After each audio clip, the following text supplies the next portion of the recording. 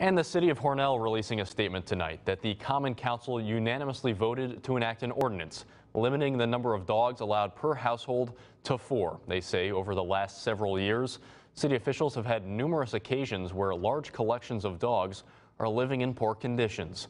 This new ordinance will go into effect on May 18th, and it will not apply to any household who currently has four dogs over the age of four months, as long as they are legally licensed.